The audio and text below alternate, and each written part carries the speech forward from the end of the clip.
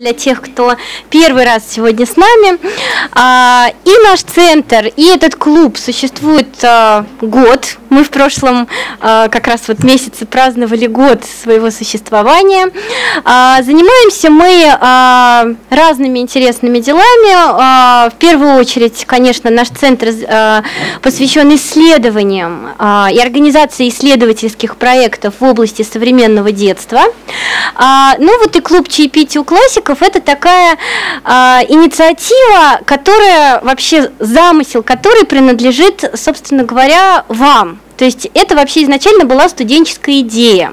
Мы как-то, э, вот был у нас разговор со студентами, они говорят, вот много всего интересного в университете происходит, ну вот почему-то все время лекции, семинары, и что-то как-то мы устали. Вот хочется какой-то научной тусовки. А, я говорю, а почему бы не сделать научную тусовку? А, и как вот это не абсурдно прозвучало, но вот а, так, собственно, родился этот клуб. Клуб – это открытая площадка, то есть мы открыты для всех желающих, не только для тех, кто учится в МГППУ, в принципе, всех мы рады видеть. И чем мы занимаемся? Мы в основном читаем. Читаем мы классиков отечественной психологии. Прошлый год у нас был преимущественно посвящен Выгодскому, потому что как-то так уж сложилось, что больше всего его надо читать, а это, как оказывается, не так уж и просто. А, в этом году у нас было две встречи, которые, а, я бы сказала, были такие больше исторические. Мы встречались в психологическом институте, у нас там были экскурсии, и мы пытались познакомиться с менее известными психологами, чем Лев Семенович, ну вот в частности мы говорили о Георгии Ивановиче Челпанове, основателе вот этого института. А, мы говорили о а, Волкове, о Надежде Николаевне Ладыгиной Коц, вот о, об именах, которые, а, к сожалению, как-то гораздо меньше известны, но за которыми стоят очень интересные люди, интересные судьбы. И вообще вот в чем, собственно, основная идея этого клуба? Ну, в первую очередь, собраться вместе, да, поговорить о книгах, поговорить о, о работах, да, задать какие-то вопросы, поделиться мыслями, идеями.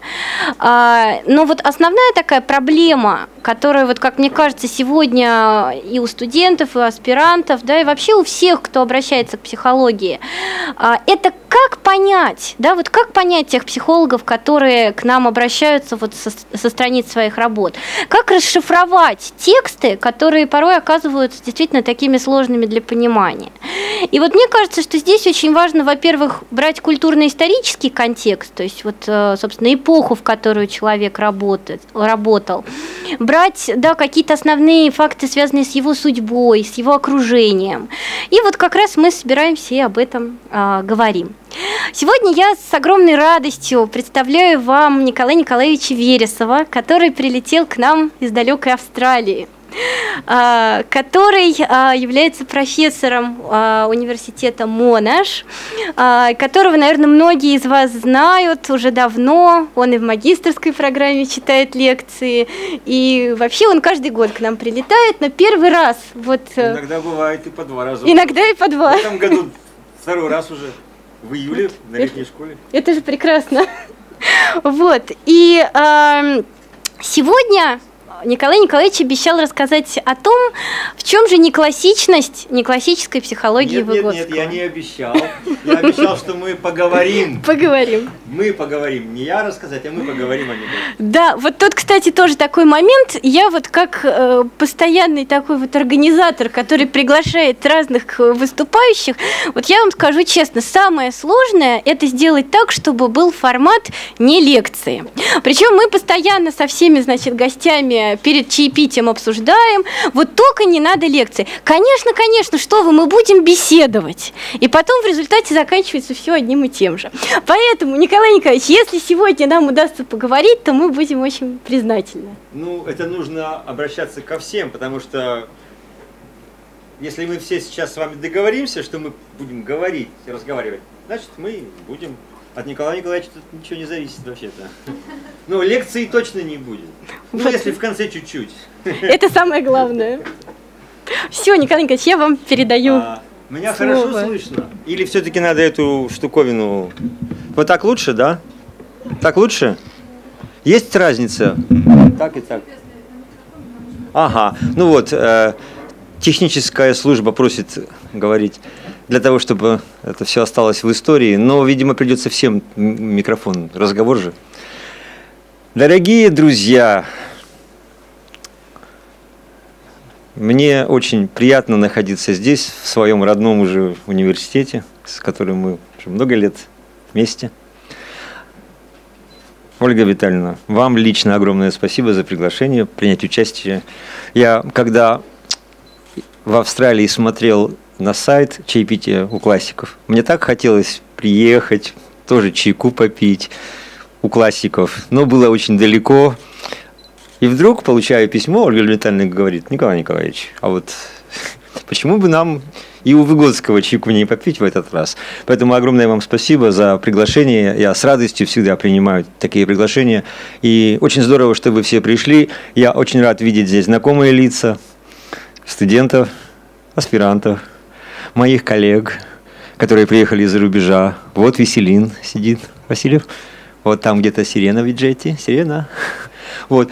А, замечательная компания – вот, ну, я еще не всех пока знаю, но надеюсь, что к концу. О, Виктор Зарецкий там вот. Вид, Вид, заходи, тут есть место. Вот забыл, забыл, забыл, забыл Диме салям послать, Дмитрий Лубовский. А, это профессора. То есть у нас здесь, видите, и профессора, и студенты, и аспиранты, и просто желающие, интересующие. В общем, хорошая компания для разговора. На самом деле для разговора, потому что называется дискуссионный клуб, правильно?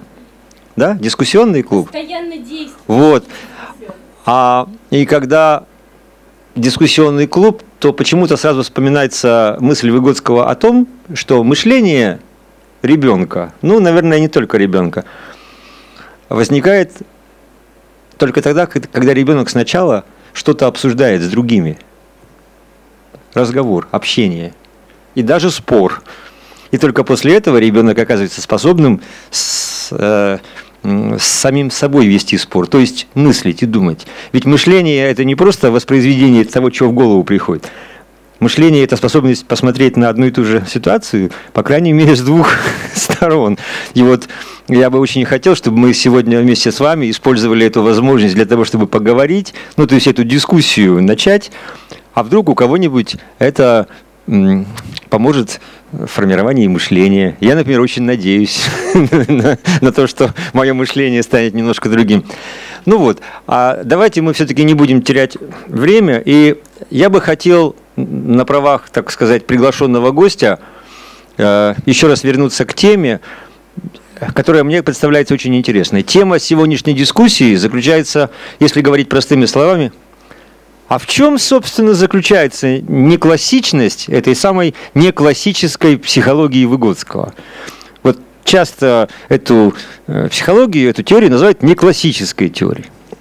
Возникает вопрос, а почему неклассическая? В чем тут неклассичность состоит? Ну, наверное, для того, чтобы ответить на этот вопрос, нужно сначала поставить на повестку дня вопрос другой. А чем, собственно, Выгодского не устраивала классическая психология? Чего это он вдруг ни с того ни с сего, а может с того или с сего, взял и начал разрабатывать не классическую? Чем старая психология его не устраивала? И почему вдруг понадобилась не классическая? Ну и второй вопрос, в чем эта неклассичность, не классической Э, психологии Выгодского. Ну, для того, чтобы разговор у нас имел какой-то предметный характер, я по просьбе Ольги Витальевны ну, э, какую-то литературу посоветовал прочитать, да, по крайней мере, вот э, статью Эльконина о Выгодском, где как раз Эльконин свою версию неклассичности показывает, а также статью Кравцова Елены Геннад... Евгений... как? А, Евгеньевны, которая свою версию неклассичности. Вот я уже не стал давать вам ссылку на статью нашей любимой Дороти Робинс, которая выдвинула свою версию неклассичности.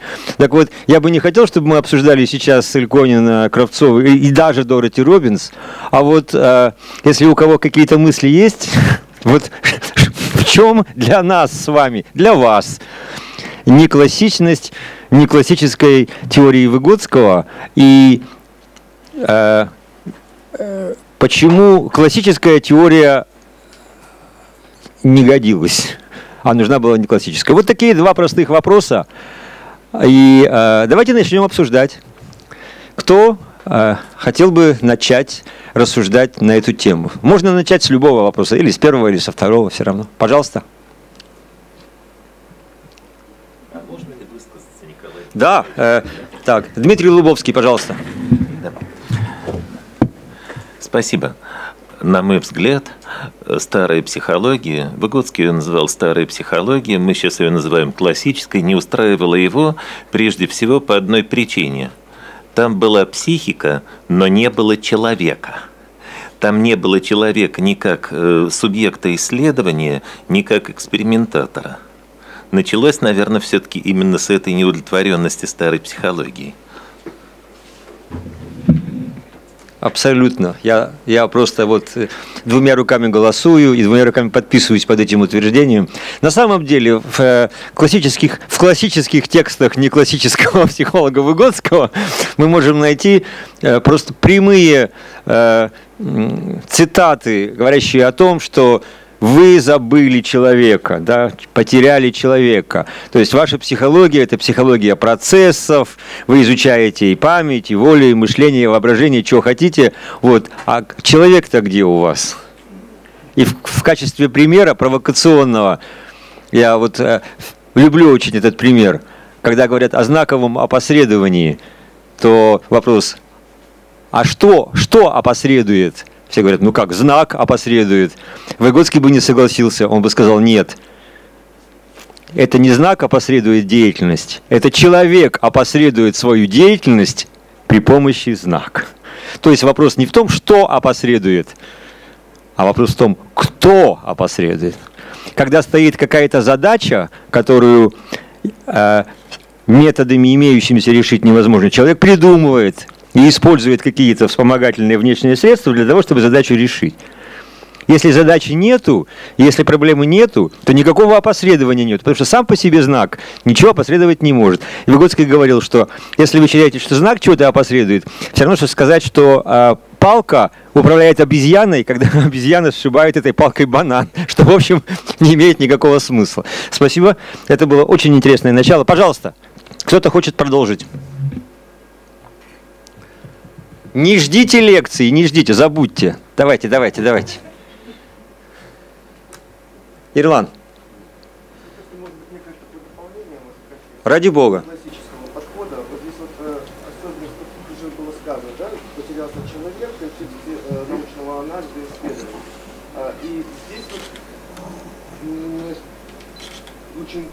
Актуально, видимо, рассматривать не просто человека как такового абстрактного, но и конкретного субъекта. Да? Субъекта не просто как э, некая э, форма биологического или социального.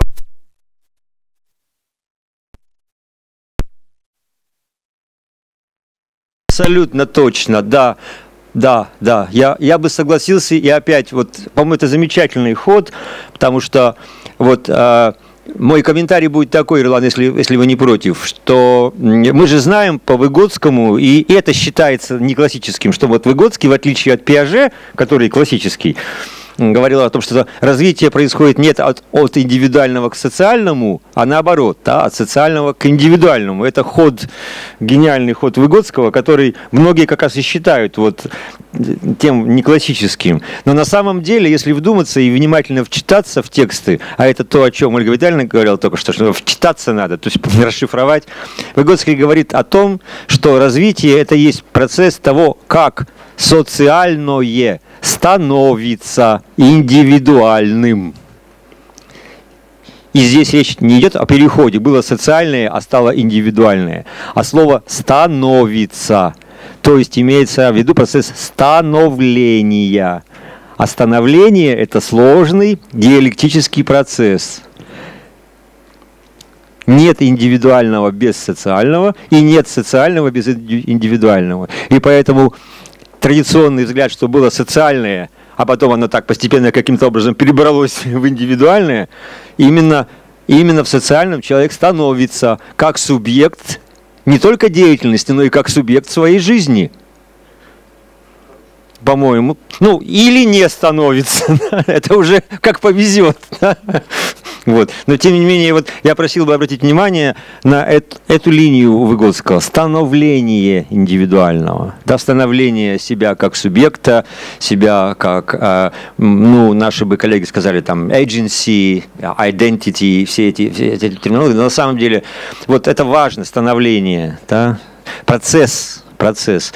Ну, все прекрасно знают, посмотрите тексты Выгодского, он ведь только о процессах говорит. Процесс становления, в процессе развития.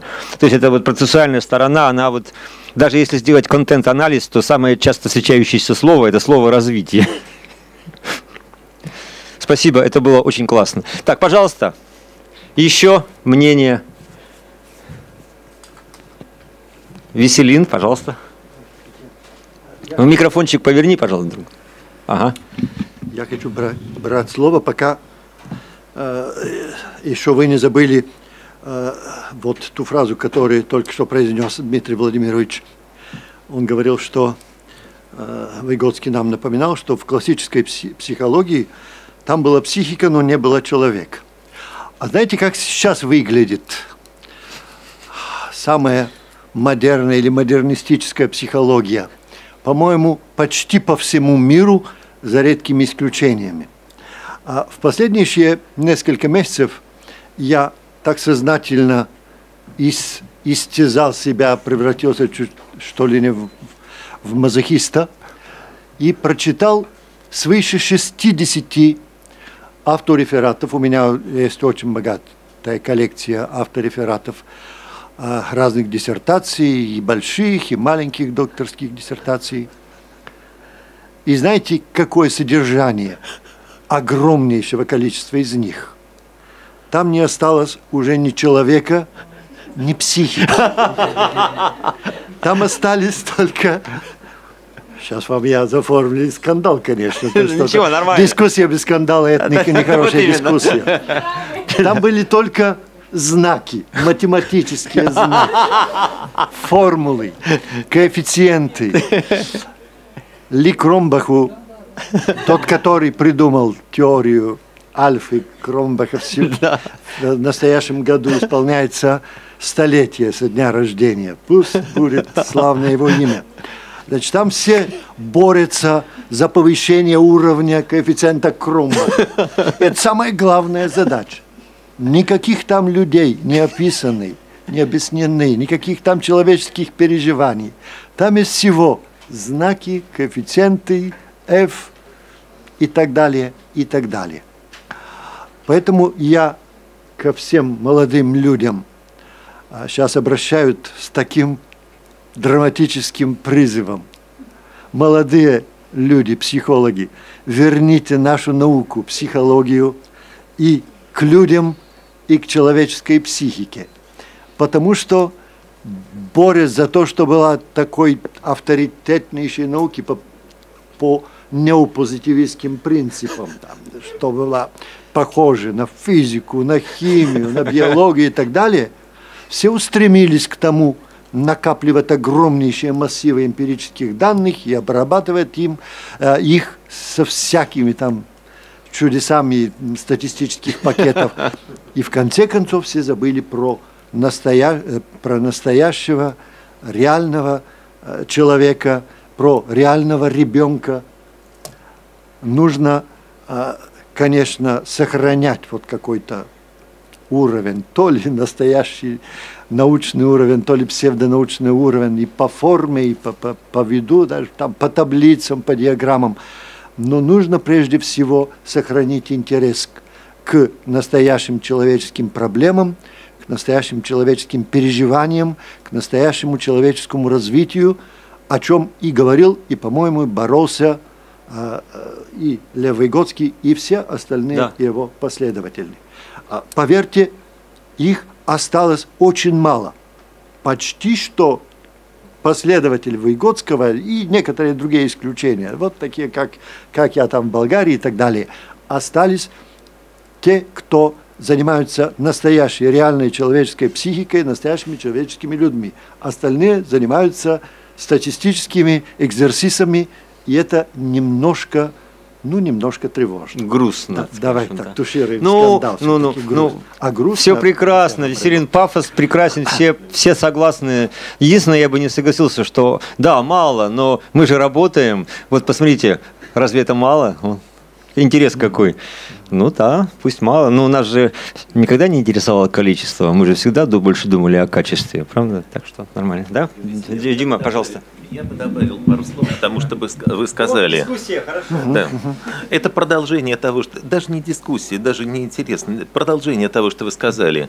Когда-то и не один раз э, оппонентом Выгодского, заочным оппонентом э, был Пиаже. Пиаже был один из первых, кто преуспел в формализации э, психологической реальности и писали о нем, что он, э, описывая операции, действует скорее не как психолог, а как логик. Да?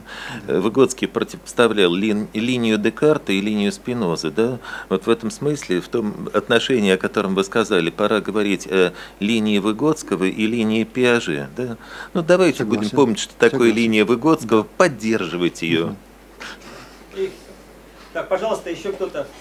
Молодежь, включайтесь. Ну, вам есть что сказать, совершенно точно. Прошу. Только, только, пожалуйста, представьтесь, чтобы вас все знали. Не только... Пред- Представьтесь, кто вы. МГУ, МГППУ и аспирантура тоже здесь. Еще вас зовут Ярослав. Да, Ярослав. Прекрасно. Э, Я бы хотел добавить, что, а, ну, что, собственно, Выгодского не удовлетворял психологию. Вот. Да, Выгодский, он вслед за Блонским пытался изучать ну, культурное развитие человека. Вот.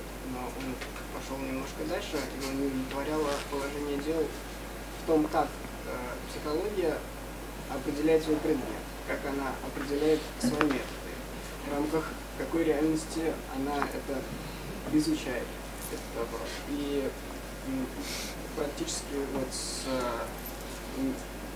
своей первой статьи э, психологической, где он рассуждает о методике рефлекс- рефлексологического и психологического исследования, Выгодский а, вводит методологический план анализ, и мне кажется, что одно из его ну, важнейших достижений в этом плане это попытка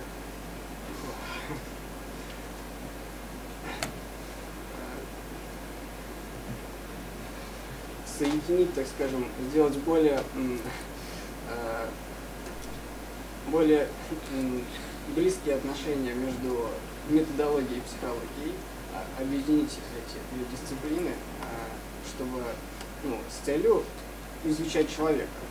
А, И им был и разработан такой методологический недовольство Лугодского и заключалось в том, что он так это и формулирует в методологической беспечности э, классической психологии, в том, что она не замечает за своими формулировками предмета психологии того дуализма, который стоит за этим, той разделенности между душой и телом и так далее, и даже не пытается решать эти проблемы, просто не замечает их.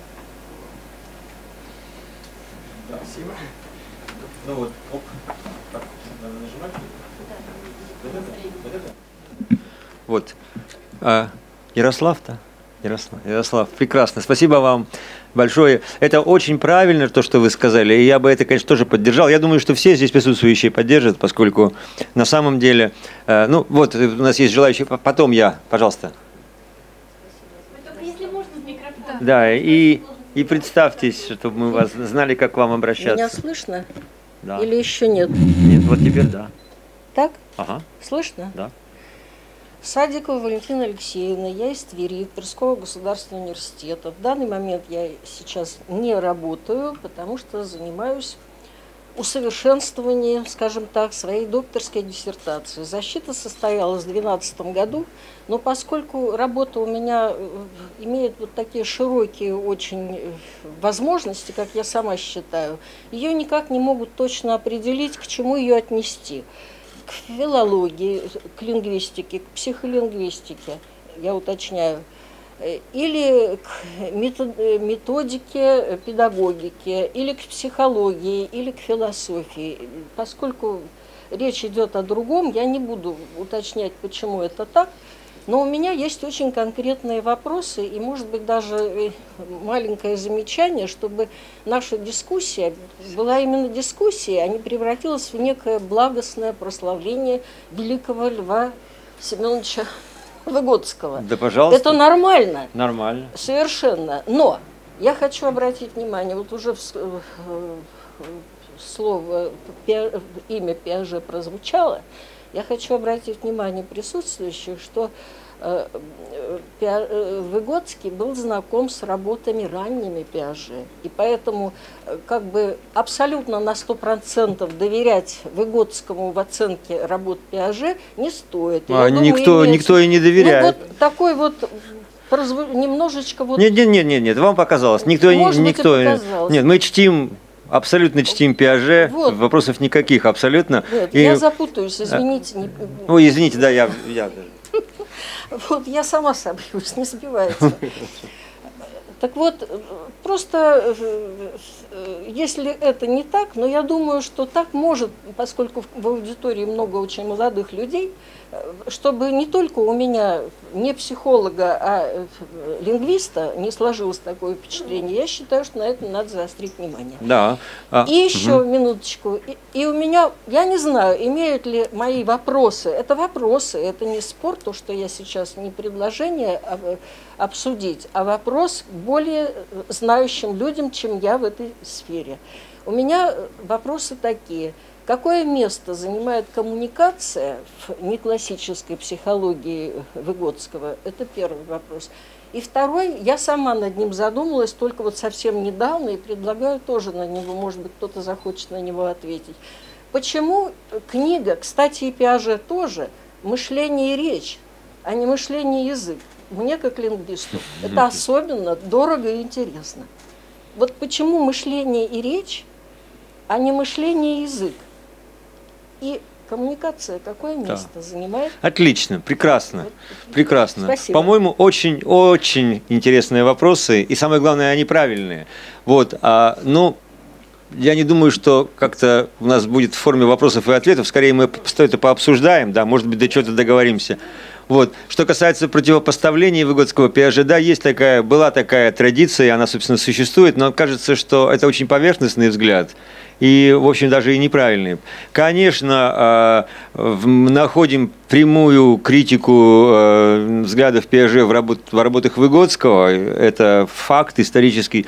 С другой стороны, тоже фактом является, что Пиаже никогда в жизни не отвечал никому ни на какую критику. Его вот Валон всю жизнь критиковал, ну и что? Пиаже был таким человеком, который говорил на любую критику говорил только одно: да, вы совершенно правы, и все, и больше и больше ничего. То есть за все почти сто лет работы в психологии Пиаже ни разу не ответил, не ответил никому, ни на какие критические замечания, за исключением одного единственного случая, когда он в письменном виде ответил на критику его теории Выгодским.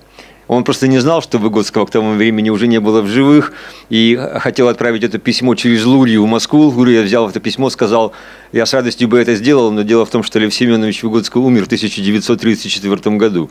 И Пиаже ужасно расстроился и сказал, что вот это был единственный психолог, с которым я хотел бы поговорить. Я думаю, что если бы они встретились, они бы договорились.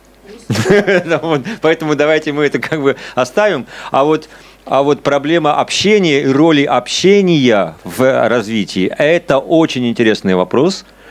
И, конечно, почему мышление и речь, а не мышление и язык. Да? Понятное дело, что язык – это средство. Ну, если исходить из культурно-исторической теории, да, культурное, культурное средство. А речь – это высшая психическая функция. Поэтому когда речь идет о развитии мышления и речи, то вот и название такое. Да? Вот. Но это моя точка зрения, я могу и ошибаться, даже, скорее всего, ошибаюсь. Я вам другое расскажу. Первое издание книжки Выгодского «Мышление и речь», которое появилось в 1962 году, на английском звучало, знаете как? Знаете? Thought and language. Мысль и язык. А теперь представьте себе, если название вот так перевели, то как перевели содержание этой книги? Да. Да, и ссылаются на нее, между прочим. Хотя в 1987 году в первом томе собрания сочинений Выгодского на английском языке она была еще раз опубликована в полном виде под правильным названием Thinking and Speech, но почему-то цитирует все время ту первую. Ну, вот это мой комментарий. Ответа у меня, конечно, нет, поскольку я сегодня не с ответами, а с, провоцирую всех на дискуссию. Вам спасибо за активное участие. Надеюсь, что вы э, будете мы все будем продолжать. Так, ага. А, давайте мы, Веселин, давай Ирлану уступим. Он... Да, я просто в контексте э, вот, хотел вот, э, как, немножко развернуть вопрос вот, языка и речи. Здесь вот э, действительно коммуникация языковая, она базируется на определенных принципах, имеет определенную четкую структуру языковую, да, для каждого языка свою грамматику и фонетику. Вот особенность интересная, э, для меня кажется, в контексте развития психологии и лингвистики в целом, это рассмотреть фонетическое пространство, в котором разворачивается та или иная э, речевая конструкция или речевое поле на уровне высказывания. То есть вот этот аспект, мне кажется, очень недоработан на сегодняшний день и достаточно конструктивный, то есть перспективный в контексте развития. Прекрасно. Так. Желающие высказаться? Ну, никаких... Э, а, да, Веселин, конечно. Только ре реплику я обещаю, что в последний раз беру Не-не-не, не, не надо, последний раз. Не надо. Так, значит, по поводу тому, как, э, как э, вел свои дискуссии, вообще как относился к своим оппонентам э, Пьеже. А, значит, он тоже иногда отвечал резко, грубо своим оппонентам. Вот смотрите как. По-моему, это было в 1974 году в итальянском журнале «Психология контемпоранея Сирена». Я правильно произнес? Примерно вот так. Значит, ему тогда было 78 лет. Американская журналистка или психолог Элизабет Хилл взяла у него интервью. И там он рассказывал очень интересно, интересные вещи, отвечал на ее вопросы и там можно найти вот такое, такое высказывание. Правда, мой докторант Джером Брунер однажды сказал, что ребенку можно научить э, э, в каждом возрасте всему, что захочем, если только найти вот такой подходящий способ и вообще подход. Но я думаю, что и он сейчас больше не думает так. Да. Джером Брунер. Он ну, отвечал э, своим. Я думаю, что все знают, да? Все помнят, что Джером Брунер это последний представитель такого классического поколения великих психологов. К сожалению, в этом году, да, он, да, э, вот, хотя такая яркая, очень длинная яркая жизнь, да. Я, мне, два мне вспомнилось, Веселин, извини, я, я, я личное воспоминание. Мы с Джеромом Брунером встретились э, на конгрессе в э, Амстердаме, на, на конгрессе Искар, кажется, 1900 ну, в каком-то в начале. Да. Но он тогда уже был довольно преклонного возраста, его пригласили в качестве специального гостя, и он почитал лекцию, а, совершенно потрясающую и очень заряженную энергетически. 20 минут весь зал стоя аплодировал. Представляете, вот ведущие профессора со всего мира, Искар, каждый сам по себе звезда, да, но по сравнению с Брунером стоя аплодисменты, и оказалось, что за обедом мы с ним за одним столиком оказались. Вот, и у меня как раз тогда моя книжка вышла, и я ему подарил, сказал, Джеро, можно я вам свою книжку подарю? А он сказал, ну дарите. Я написал, а он сказал мне, улыбнулся и сказал, вот вы, наверное, уже не только мне подарили эту книжку, правда? Я говорю, ну да. Он говорит, вот я вам обещаю, что я ее прочту, в отличие от всех остальных, которым вы ее подарили. И хитро улыбнулся. Ну вот, ну, извините, это было немножко личного, но все-таки такие моменты остаются в памяти, правда? Ну, поскольку культурно-историческое, это немножко истории тоже можно. Так, пожалуйста коллеги, Вот мы постепенно... Да, я хотел бы все-таки на Ярослава э, отреагировать. Ярослав, вы совершенно правильно поставили вопрос о том, что если говорить уже всерьез о неклассичности, да, то нужно сразу ставить вопрос, а в чем она? И э, вот, если я вас правильно понял, то, во-первых, это новый предмет, да, что, что предметом является психологией, да, и это вот вслед того, что э, мы обсуждали. И, и метод, да, и метод, да, потому что любая наука – это предмет, это понятие и метод. Если уж э, претендуем на неклассичность, то надо какой-то неклассический предмет придумать, ну и метод тоже не классический, правда же? Вот. Мне кажется, что это очень важно, и очень хорошо, что вы вспомнили ранние работы Выгодского, вот эту самую работу, которая была опубликована 1926 году, да, методика рефлексологического и психологического исследования, а выступал он с ней в 24-м, на, на, а опубликовали через два года. Вот. И там он, правда, поставил вопрос о том, что э, нужен метод. И интересно, что этот вопрос ведь не только Выгодского интересовал, но ведь э, объективный метод, да, вот э, главная и единственная проблема методологии психологии заключается в том, что как можно исследовать субъективные явления объективным методом.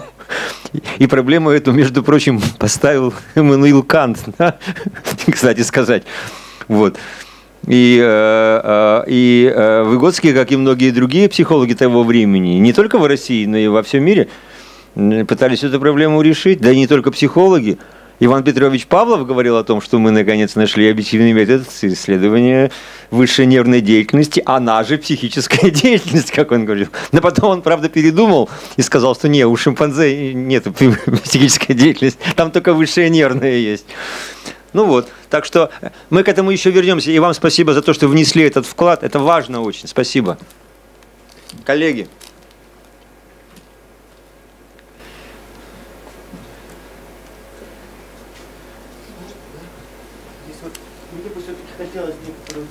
сделать связочку между да, пожалуйста.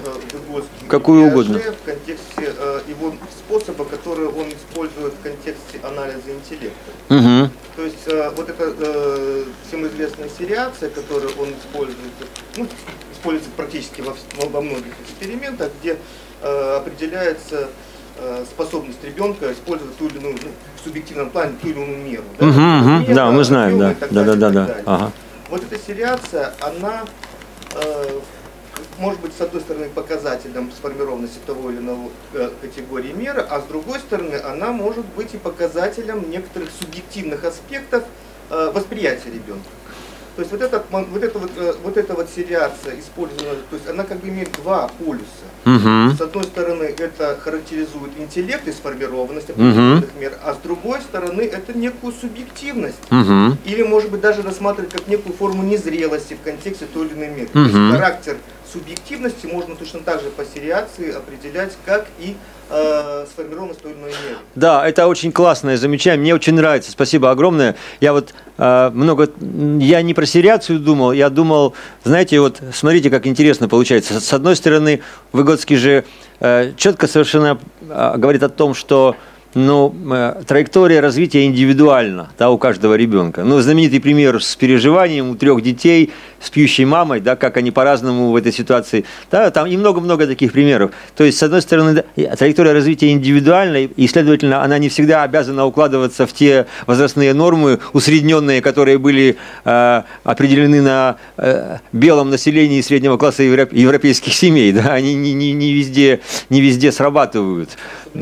А, да, да, да, да, да. А с другой стороны, а, а, развитие подчиняется общим закономерностям. И возникает парадокс. А как же так? Если развитие подчиняется общими закономерностями, то о какой индивидуальности может идти речь? А с другой стороны, если мы говорим об индивидуальности, то как мы можем найти общие законы? Вот да, согласитесь? И вот, э, вот эта идея о том, что да, каждый, каждый человек развивается по индивидуальной траектории, но законы развития одинаковы для всех – это как два листочка на дереве. Они друг на друга не похожи. То есть похожи, но они все равно не, не одинаковые. Но каждый из этих листочков развивается по одному и тому же закону. Вот. Э, э, и ваш пример с сериацией, он очень конкретный вроде бы, но на самом деле он нам четко указывает вот на это. Да? А это как как субъектив... Да, то есть просто та же самая сериация используется у Люшера, например. да, То есть она, э, например. Да, да, да, да. которые Да, да, да, да, да, да, да, м, да. Да, то есть выявляя общие закономерности, можно тем самым не забывать о том, что а, они как бы, вот как сегодня Веселин сказал, осадок там остается в глубинных, да? Помнишь, да, Веселин сегодня? Что вот там... Мы как раз сегодня это обсуждали в РГГУ. Спасибо. А, давайте дадим слово еще кому-то. Люди, пожалуйста, скажите что-нибудь. Ведь вот вы не верили, что лекции не будет, но вот вроде нет, да? И уже поздно начинать. А сейчас, когда уже поверили, не могут настроиться, так перестроиться. Ну хорошо, давайте я провокацию тоже сделаю. Что тут? А, пожалуйста. Слава богу, обошлось без провокации. Пожалуйста, представьтесь только, скажите, кто вы. Самодерженков Андрей, Андрей. курс, э, гуманитарный институт.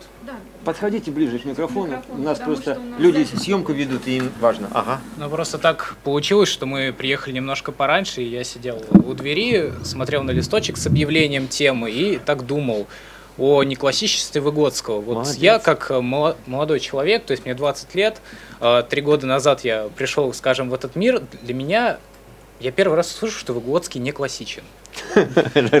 Такой классик, да, вообще. то есть для меня всегда Выгодский это что-то незыблемое, что-то очень классичное, и я пришел к такому выводу, что э, классики, они меняются с течением времени, то есть для меня и Выгодский, и остальные психологи, они классики, через 20 лет вы будете классиком, Нет, нет, боже упаси. через 40, возможно, кто-то из сидячих здесь, Вот, это точно, скорее всего. вот, и я так пришел к выводу, что это просто два великих ученых, о ком мы сегодня говорили, просто занимавшихся примерно одним и тем же делом, просто имеющих разные взгляды. Да, это, это правильно, но ведь не классический Выгодский стал классиком, но тем не менее э, психология его называют не классическая, потому что она вот э, э, как бы противопоставлял, пос- противопоставила себя классической психологии, которая, как нам Веселин только что доказал, существует, несмотря на то, что и Выгодский, они, они как бы вот, у них все хорошо, правда? Вот. Нет, я просто А я- я выразил мысль смены поколений. Очень хорошо, мы все поняли, спасибо. Это очень интересно, да, как вот не классический классик или кла- классический не кла- не- неоклассик. Спасибо. Вы, пожалуйста, не пропадайте, потому что нам, так- нам, нам такая молодежь нужна. Вот, Альбина, пош- прошу. Да, меня зовут Альбина, я аспирант факультета психологии МГУ, второй год. Я со своим тогда неудоумением, раз Да, пожалуйста. начали. а, Ну, не с чужим же, Альбин, ну со ну, своим. конечно. А, а, понятно, что не классический в том плане, что не а, пропуск классический, то есть явно что-то отличное от классического. Ага. Но есть еще же пост не классический. И Есть. вот теперь мне гораздо более интереснее, почему он не классический, а не пост не классический, и в чем вот эта вот разница, потому что, ну, что такое классический, мы все более-менее, наверное, понимаем, а вот эту вот разницу между не классическим и пост не классическим, а, сколько я разных э, преподавателей замечательных слушала, они все ее понимают по-разному. Да, и почему мы не можем говорить о Выгодском как о пост не классике уже, как о, ну, а, исходя из его представлений, например, о том, что а, вот в этом взаимоотношении между э, субъектом и там, социальной реальностью, вот именно в отношении что-то строится, да, то есть это вот некоторый разведчик, который уже как системное, а, все, кто говорит о системе, они уже скорее себя к постной классике обычно относят. Да, но я сейчас уже могу путаться в каких-то Не-не, ничего, мелочах, да, но ничего. а, вот, Нормально. вот мне больше интересует вопрос, почему Выгодский это не классика, а не пост не классика. Ага. Хорошенький вопрос, да? Как это, вы хотите поменять свой шикарный вопрос на какой-нибудь дурацкий ответ? На меня, на меня не смотрите. вот.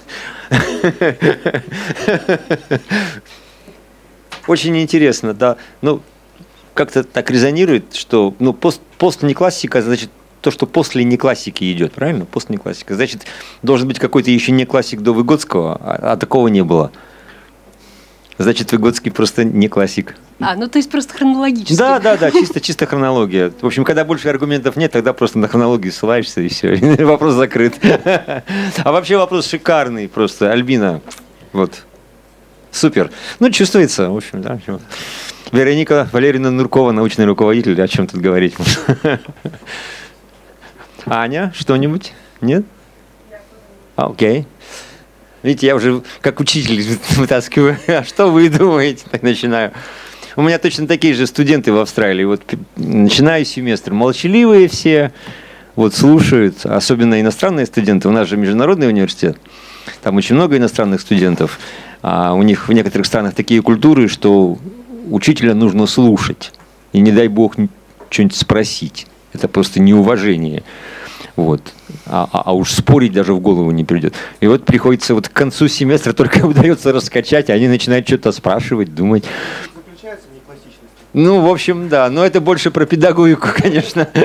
Ну вот, уважаемые коллеги, а что-то я не слышу никого из Армении сегодня. Армения не может отмолчаться. Давайте. Вы только что прослушали шикарных двух преподавателей в своем курсе. Бориса Даниловича Ликонина и э, Владимира Тоевича Кудрявцева. Они вас, я думаю, научили чему-то. Конечно. Даже, не, даже нужно. Вы на него не отвечаете Я сразу, не буду, а видите, да? я не отвечаю вообще ни Да на один. не- на мои вопросы вы пытались сразу ответить. Я думаю, поэтому провокация не получилась. Вот рождается человек в этот мир. Вот пришел он. Заговорит он не сразу, не прямо вот родился и заговорил, да? А вопрос такой. Вот с чего начинается изучение, э, то есть что, не так, неправильно, Э, что осваивает ребенок раньше, язык или речь? Что ребенок осваивает раньше? Ре- Речь, конечно. Думаете, речь? Потому что речь, Потому что речь может проявляться и в других одеждах. так, Значит, а, ребенок может говорить так, как когда-то это по Выгодскому Элиасберг говорил, искусственными словами, Да. а какими-то там обобщениями, Да. ну даже знаками. Да. Это речь, это сообщение. Он кому-то что-то говорит. Да. Я могу даже рассказать свои наблюдения над э, речевым развитием своего сына, но это неинтересно. А язык как социальный инструментариум создан в культурно-историческом процессе, он усваивает позже, по-видимому.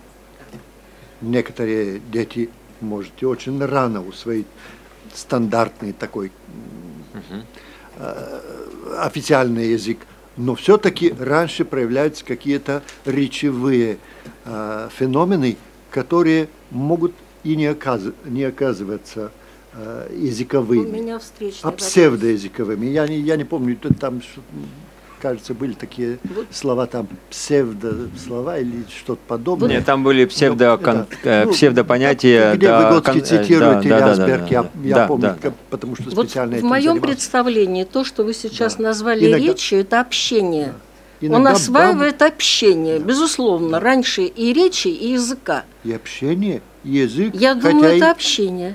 хотя и Вот улыбнулся детский язык. маме в месяц. Общение. Ну да, общение, и значит речь. Но Так только, вот, неверба- значит, но только речь- невербальная, ведь речь, Речь может быть... и общение – это одно и то же? Нет, конечно. Почему? Да. Нет, ну, Вот, тоже, вот, вот, хотя вот. они Да. связаны. Давайте, пожалуйста, Связано, вот конечно. включайтесь, э, микрофон только поближе, и представьтесь. Это очень интересно. Добрый вечер. Добрый А, вечер. Кочетова Юлия Андреевна, преподаватель МГППУ, возрастная кафедра. Ну, я на самом деле просто, наверное, хотела добавить вот к Веселину, да, то, что он сказал, то, что общение и речь. Ну, например, да, указательный жест, это же тоже предвестник слова. Потом автономная детская речь. Поэтому, наверное, я бы, наверное, тоже скорее сошлась бы на Речь. том, что все-таки речь, как высшая психическая Да. А язык – это нечто, э, определенный э, э, лексикон, да, словарный Да. Запас, Да. да, Наверное, уже не да. псевдослова. А, значит, с языком связывается только э, норма социальная, да? Так я поняла вас? Ну, Или нет? Нет, по- похоже, потому что ре- ребенок же может придумать свой язык. Свой язык, да, вот, например, Да, язык и они да, придумывают, когда- мы знаем, да. Близнецы общаются на, на своем языке, это все описано. Вот, но это, это ведь язык, правда, да.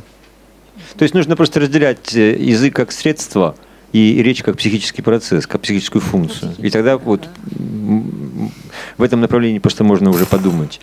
Все-таки хочется Ольга точку Витальевна, поставить. прошу.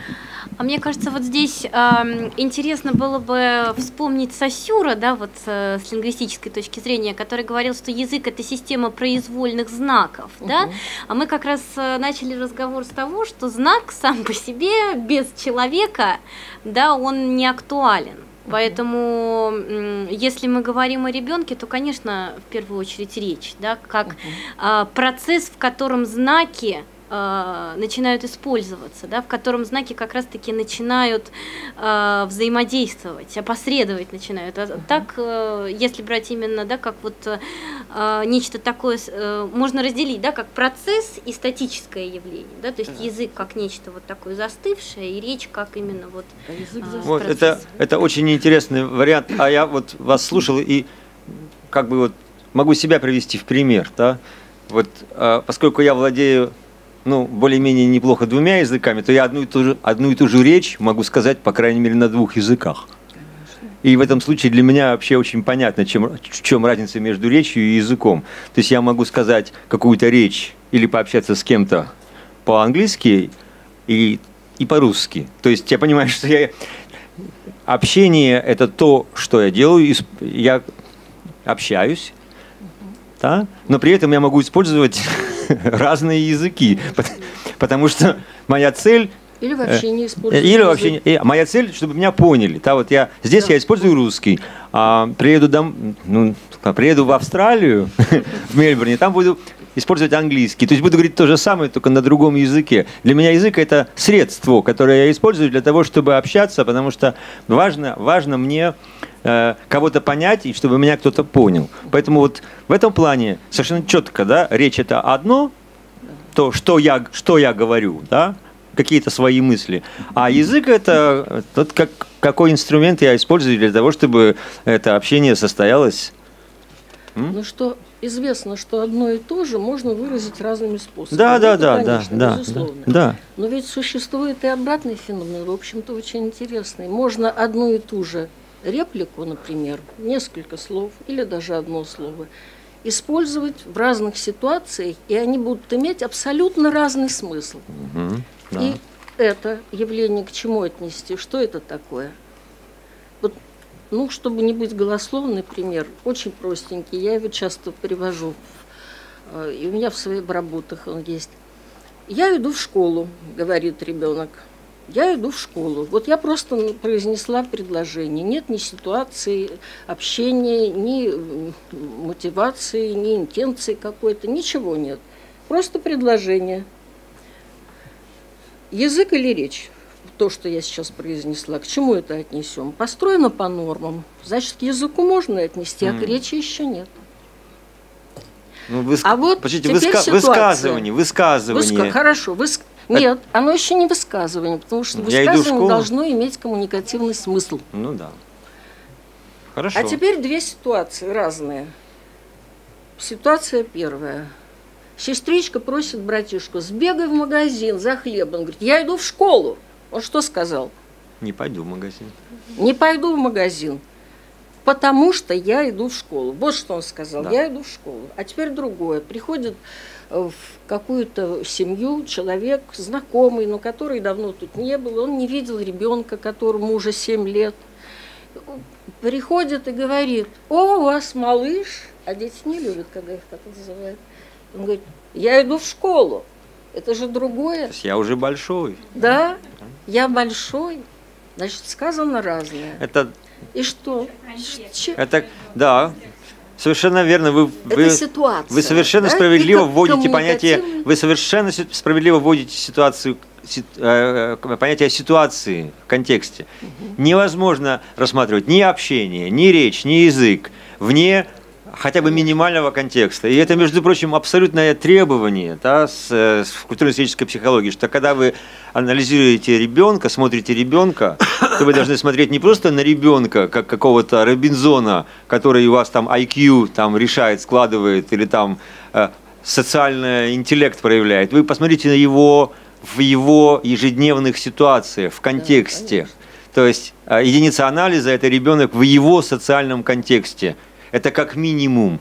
Вот. И если вы хотите увидеть особенности развития его интеллектуального, эмоционального, речевого, какого угодно, то вне контекста это просто совершенно невозможно делать. Всех заговорили и э, никому не дали ничего сказать, а потом Да. обижаетесь. А, Можно тоже добавить вот к сказанному. Мне кажется, что э, в этой ситуации все очень переплетено. И язык, естественно, и речь. И э, мне вспоминаются, опять же таки, вот работа Льва Семеновича Выгодского, тогда, когда он рассматривает генезис возникновения автономной речи. Он говорит о том, что речь возникает у максимально социального существа, ребенок, у ребенка, который, с одной стороны, максимально зависим от взрослого, а с другой стороны, все-таки он называет его максимально социальным, хотя мы как бы э, контекст социальности воспринимаем как некоторое взаимодействие с социумом. И он говорит о том, что речь появляется тогда, когда возникает вот этот конфликт, когда максимально социальное существо не может коммуницировать со взрослым человеком. И тогда появляется вот эта вот необходимость говорить. Можно еще один примерчик? Я не никому не мешаю, нет? Просто возникло в связи с вашей вот ре- репликой, с вашим выступлением. Примерчик такой, и просто я предлагаю его на обсуждение. Я еду в электричке с ребенком, ребенку года 4. Ребенок никак не может до мамы дос- достучаться. Мама говорит по телефону. А, он, а мы проезжаем Московское море, и ребенок с- а волны на море. Но у него недостаточно опыта, он еще волны не знает. Море знает, а волны нет. Он говорит, мама, почему море шатается? Почему море шатается? Мышление. Ребенок, вот смотрите, про движение он уже знает, и он понимает, что это движется. Но опыта речевого или языкового у него недостаточно для того, чтобы на это, э, ну, чтобы выразить правильно. Он, он говорит, да, почему море шатается. Вот так и не достучался до мамы, мама говорила по телефону, а потом говорит, он продолжает, четырехлетний философ, размышлять над проблемой движения. Вот послушайте, что он дальше сказал. Мы едем, деревья стоят. И опять вспоминает, а море шатается. Сам с собой говорит. Иллюстрация к тому, что вы сказали. Ну, мне кажется, вот спасибо тоже. Мне кажется, вот уместно вспомнить о том, что Лев Семенович Выгодский, он же последнее время э, уделял огр- огромное значение медицине э, с Александром Романовичем Лурия. Вот. И они также исследовали детей, которые были с особенностями развития, в частности, с агнозиями, с апраксиями, с афазиями. И а, говоря вот опять же таки о речи, буквально, и в частности он говорил о детях, которые не говорят о алаликах, или это взрослый чело- человек афазик. А, вот то, что вы говорите, мышление и речь. А, недавно у меня был тоже такой случай, когда ребенок с, ну, можно сказать, с моторной алалией, то есть тогда, когда у него есть понимание речи, но нет способности говорить. А, Он увидел лестницу, он водил меня по эм, помещению, и увидев лестницу, он тыкнул пальцем и сказал, ну, этот, этому ребенку 4,5, он уже как бы должен говорить. Он показал на лестницу, я спросила, что это? И он сделал вот так. То есть это вот море качается, море качается, движение. Движение, да, совершенно верно. Такая Прекрасно. связь очень Прекрасно. точная. Так, давай, давайте я прошу уже, знаете, так, э, тех, кто уже выступал, может быть, э, чуть-чуть себя придержать, но включить произвольность чуть-чуть, да, вот, и дать возможность тем, кто еще не... Ага, вот, пожалуйста, у нас есть желающие. Представьтесь только, Мгм, а к микрофону, м, это для съемки. А, Меня зовут Брушлинский Иван, э, студент третьего курса МГПУ. Брушлинский Иван. Вы имеете какой-то? Имею. Э, эм, Я хотел немного разбавить э, да, нашу такую сложную дискуссию, э, вернуться немного к теме нашей изначальной, о, о неклассичности, неклассической психологии Льва Семеновича. И мне захотелось, ну, приш- пришла в голову мысль, что я понимаю неклассичность психологии Выгодского не, сто- не только с точки зрения э, классификации, если не изменяет память Юдина, то есть не- классическая, пост, э, классическая, кл- не классическая, постнеклассическая. Ну там всяких много. Да, да, да, их несколько но было, не да. Но и с э, точки зрения его неклассичности, на мой взгляд, как человека. То есть, э, на мой взгляд, Лев Семенович был очень неклассичен, особенно для ученого, хотя это, ну так, больше шутка, э, с точки зрения его отношения к реальности. А именно в том, что он как-то подозрительно, на мой взгляд, с ней тесно соотносился. То есть э, э, он не видится человеком с очень реалистичным подходом к науке, и потому что он исследовал не какие-то числа, вот о которых нам рассказывали, да, непонятные, э, не выискивал э, какие-то бесконечные, бесчисленные множество корреляций между разными показателями и как-то из этого да, выводить какие-то вещи. Э, Он буквально, на мой взгляд, ворвался в психологию и говорил о каких-то действительно актуальных ее проблемах. Э, Причем не забывал о проблемах, так скажем, которые существуют в повседневной реальности людей. Не, вот, не ученых-психологов, а именно людей. Э, Я бы хотел подчеркнуть, да, такие, например, области, в которых он блистал, э, как и внес, на мой взгляд, ценный вклад, как педагогическая психология, в которой он подчеркивал важность обучения, работы в зоне ближайшего развития, а, там ни, ни где-то еще. Э, У него можно встретить критику системы экзаменов как разрушающей э, вообще какую-то эффективность образования.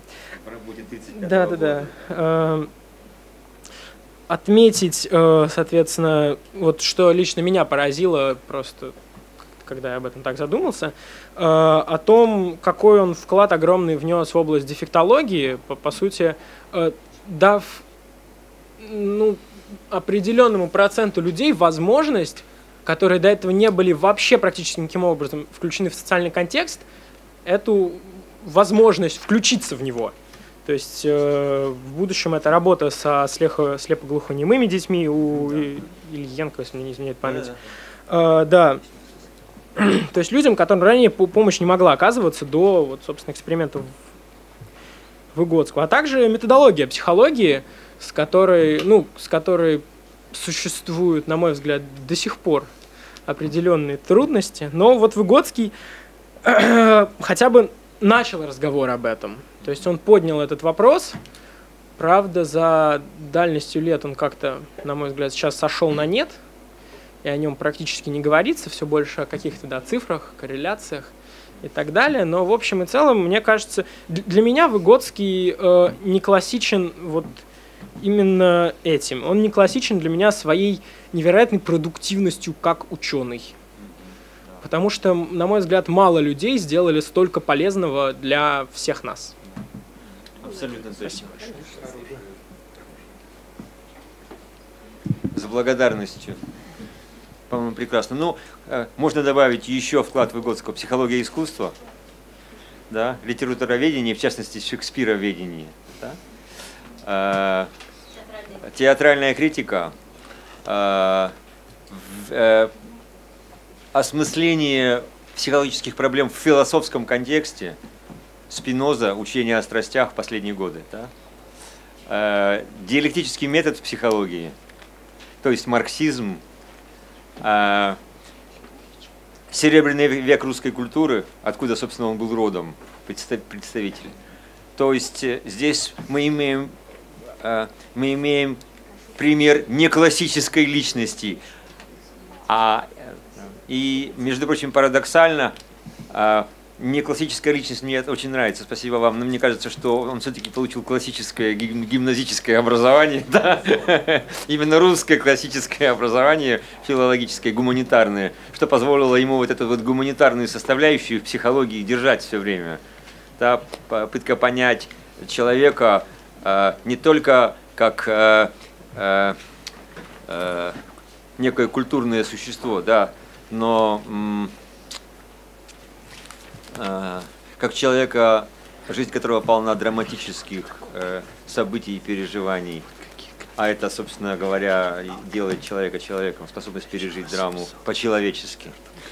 Замечательно, да. Личность мы, конечно, не должны забывать. Это очень ценное замечание. Нет, нет, все, все, все высказывания сегодня просто потрясающие.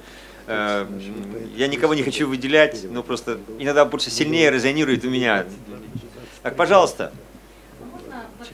Нужно? Две реплики. Да, конечно. А, в ответ, вот, Иван, В прод- на или то, в что вы продолжение? сказали, да, или в продолжение. А, первая такая реплика по поводу вот личности Выгодского.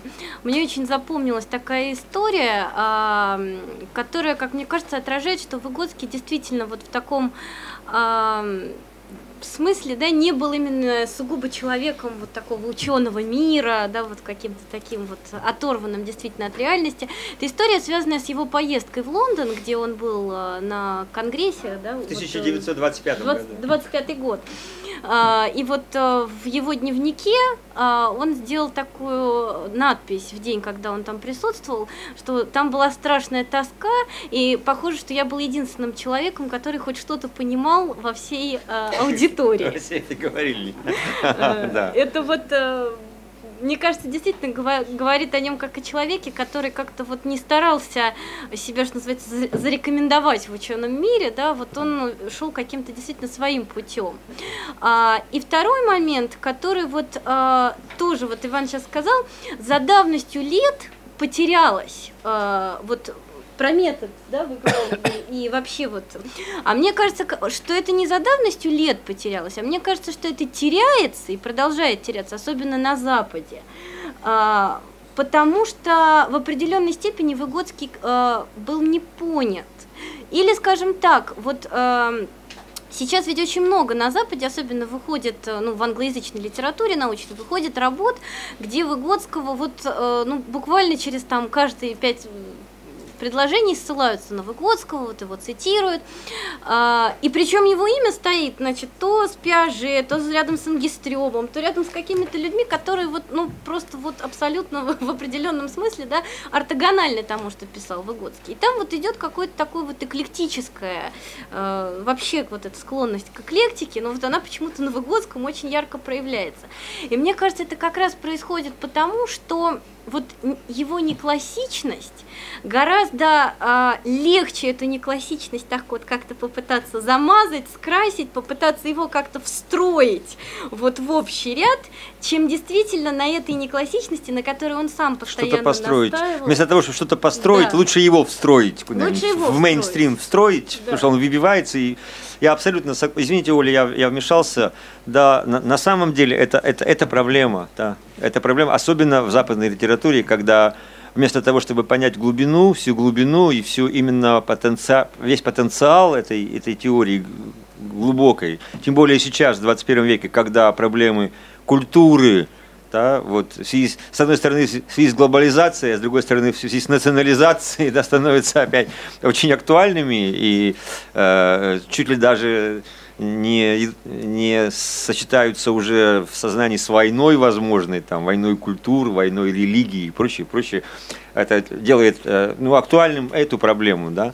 Вот. А Идет вот идут постоянные попытки, не- неосознанные, конечно же, да, но тем не менее весьма заметные попытки его встроить вот в эту мейнстримовскую психологию, каким-то образом адаптировать, то есть взять из Выгодского то, что можно встроить в эту самую, где цифры, и, ну, не обращать внимания на то, что не, не, не, не встраивается туда, где цифры. И вот это заметно по литературе, я здесь абсолютно согласен, поскольку в основном с этой литературой работаю сейчас, да, поэтому могу как бы с экспертной точностью сказать, что это, это действительно факт. Да. И мне кажется, что наша задача как раз нашим западным коллегам, которые хотят знать настоящего Выгодского, давать возможность узнавать его. Вот они не случайно же сюда приезжают. Так, ну, потому что они знают, где, где на самом деле ну, в общем, все это происходит. А я с удовольствием вижу, что сюда и Анна Лиза Санина приезжает, и Малкольм Рид приезжает, и много-много кто еще и Харри Дэниелс, да, который везде гуру, но когда он приезжает сюда, с него этот гуризм слетает махом, да, сразу он понимает, что ему еще нужно учиться.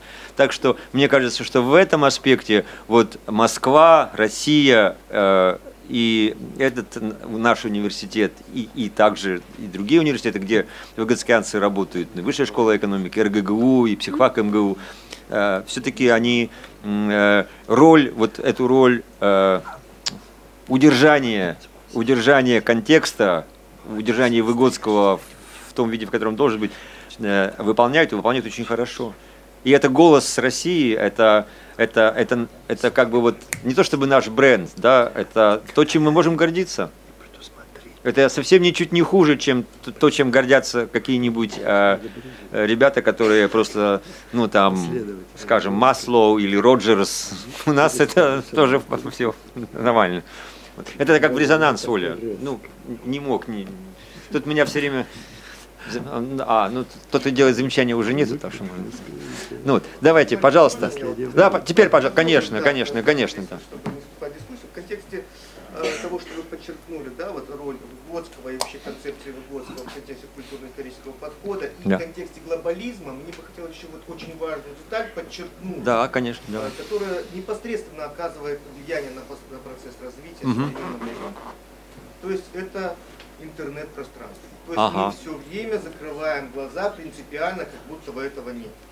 А на самом деле уже с самых ранних этапов развития ребенок начинает вот-вот-вот и как это влияет на процесс его психического становления и развития, куда отходят социально-ролевые игры, как вообще процесс э, развития психического видоизменяется в угу. этом плане.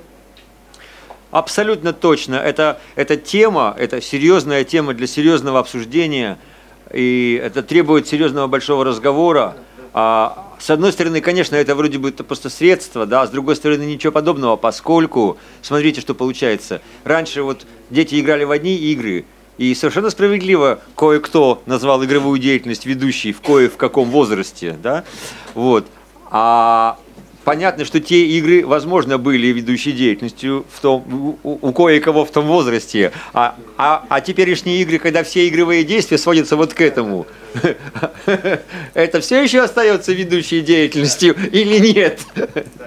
Проблема регламентации инициативы в контексте речевых организаций, вместо манипулятивного да, да, да. Вот, и это вопрос. И, и, конечно, нет, я не думаю, что мы закрываем глаза. В прошлом году прекрасный у нас был семинар да, по вот, современное детство, и мы обсуждали эту тему. И исследования ведутся, и у нас э, в стране...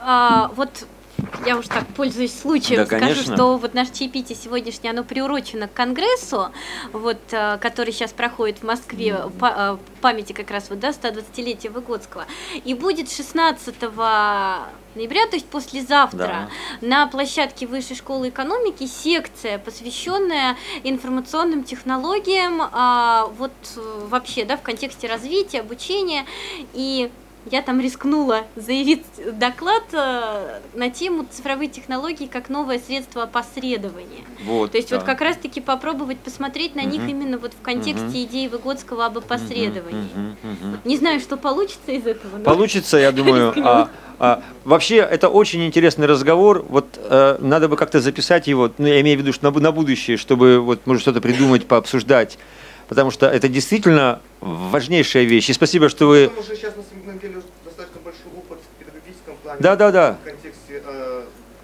рассмотрения особенностей. Конечно, да, да, да. Тех или иных игровых.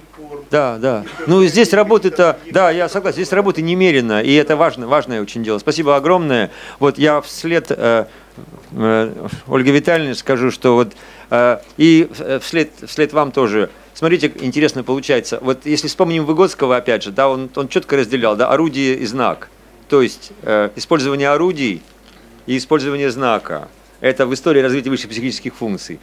И говорил, что не, смешивать не надо.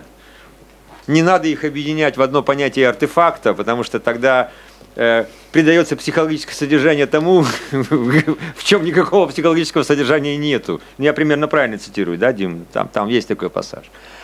А что, что получается? А потом появляются такие вот всякие цифровые технологии, которые, ну, программы обучающие, да, компьютерные, всякие разные. И выясняется, что это такая штука, которая одновременно и орудие, и одновременно знак.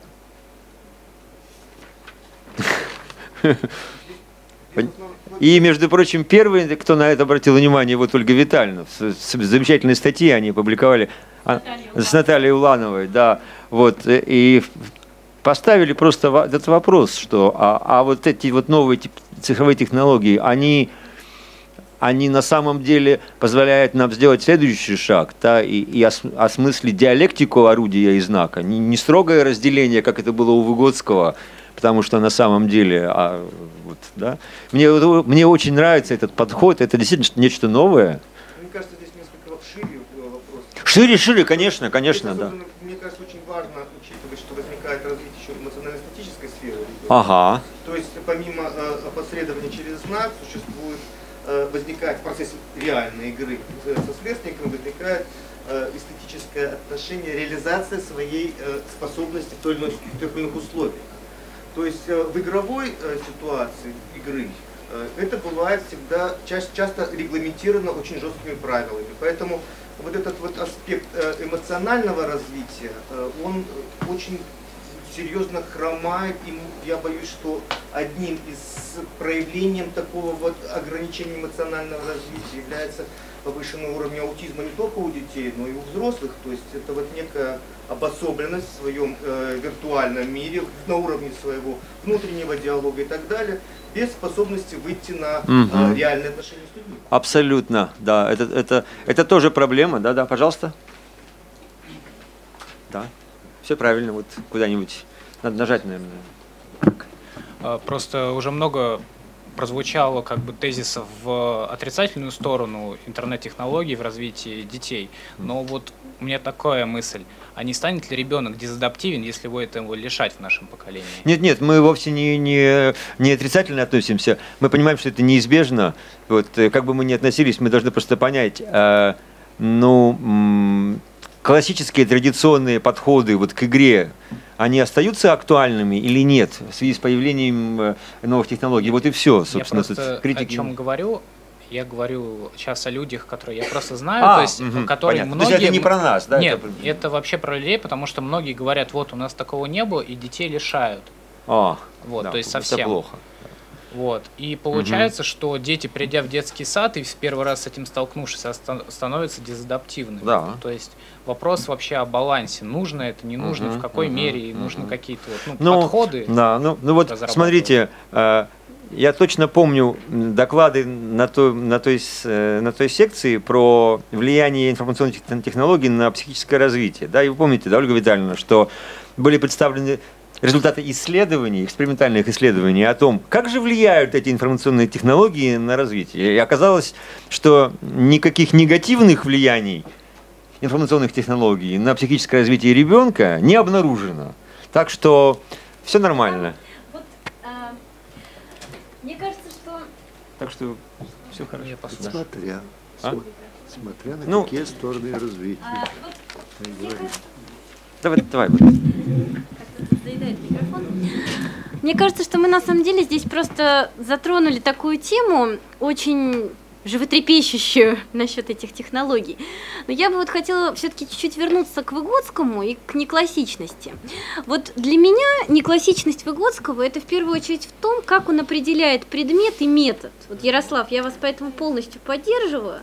Как он определяет предмет? Он говорит, что предметом психологии, да, предметом культурно-исторической психологии является сознание или более конкретно высшие психические функции. А метод Процесс развития. Проц... Ну да, процесс развития высших психических функций. Согласна, а, да, согласна. Согласна, согласна. А метод, да, это экспериментальный генетический метод, хотела вот здесь как раз сказать, который позволяет отследить процесс развития этих высших психических функций. То есть не в статике, да, а в процессе. И вот а, в этом не классичность, потому что этот подход позволяет нам на разные явления, на разные феномены, в том числе на новые феномены, которых не было во времена Выгодского, но которые есть сегодня, а, вот подходить к ним, да, вот с точки зрения вот этого предмета и этого метода. Я просто вот как раз занималась а, попыткой проанализировать, вот какие же существуют сегодня подходы к исследованию информационных технологий, и вот а, вы очень точно заметили, что вот многие говорят, вот это плохо, там надо это изымать и так далее. А где данные? Вот как мы можем это показать? Это плохо. Где, где такие данные? Но самое интересное, как мы на это посмотрим? Где вот тот предмет, тот инструмент, который нам позволит это э, померить? И вот если проанализировать те исследования, которые есть, первый такой большой пласт – это социологические исследования. То есть с каждым годом растет количество часов, которые там ребенок проводит в виртуальном пространстве. Да, растет, да, действительно. И что? Это не доказывает, что это плохо. Да? А второй пласт исследований – это исследования, которые фиксируют внешне наблюдаемые изменения во взаимодействии. Ну вот такой пример, да, вот а, классная комната, да, вот, допустим, мы с вами, вот мы с вами там 10-20 лет назад, да, без вот этих всех гаджетов, и мы сегодня, да, при наличии вот там не, не доски для мела, а там интерактивной доски, там, вот этого всего, как изменилось наше с вами взаимодействие, то есть как мы обращаемся друг к другу, как мы там в пространстве расположены и так далее. Это очень интересно, но все равно это внешне наблюдаемые изменения.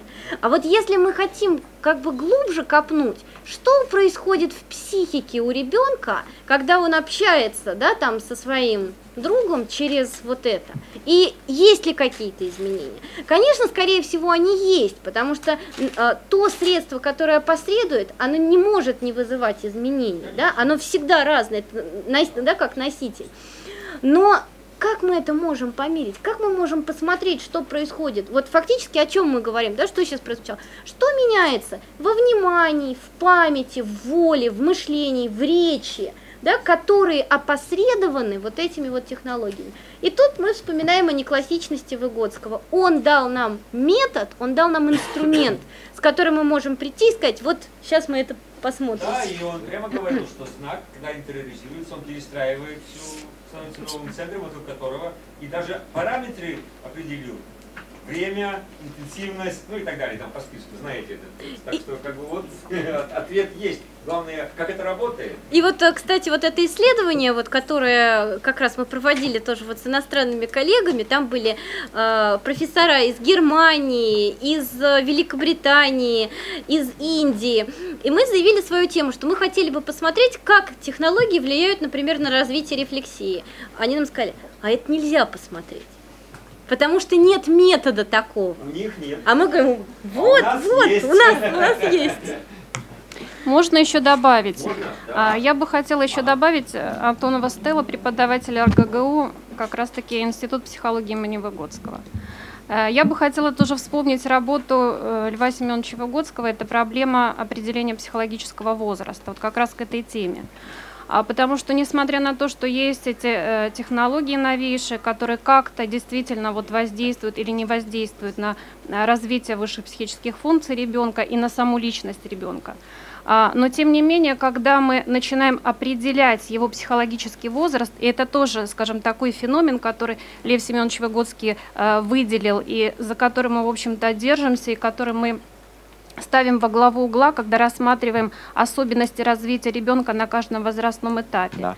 И вот те новообразования, которые являются результатом кризиса после каждого очередного периода, да, они остаются теми же. Ну, как бы я это тоже заявляю как практик, который и как теоретик, и как практик, который работает с детьми, а, несмотря на то, что сейчас очень много говорят о, де- о детях индиго, об эмоциональной уплощенности, я этого за, скажем так, за 25 лет работы с детьми в том числе не наблюдаю. То есть э, новообразования те же? как Новообразования те же. Слава и Богу. если, скажем так, ребенок а, в 7 лет у него а, обобщение переживаний должно случиться и утеря детской непосредственности, Ага. это так и происходит. Ну. То есть наступает какой-то определенный момент, когда он приходит и говорит «вы». До этого он говорил «ты», «пойдем» и так далее, но в какой-то определенный Ясно. момент он подходит и говорит Здорово, «Здравствуйте, супер. вы». Это очень, это очень хорошая новость, правда?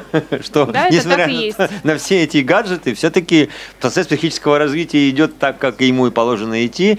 И именно так, как и Выгодский думал, что он должен идти, поскольку вот идея о психологическом возрасте, это одна из любимых наших работ, конечно, мы все знаем ее, и блистательный анализ возраста с точки зрения использования всего-навсего трех понятий, да? Да, Помните, да? Кризис, Кризис, э, новообразование. новообразование и социальная ситуация развития. Все. Да. Да?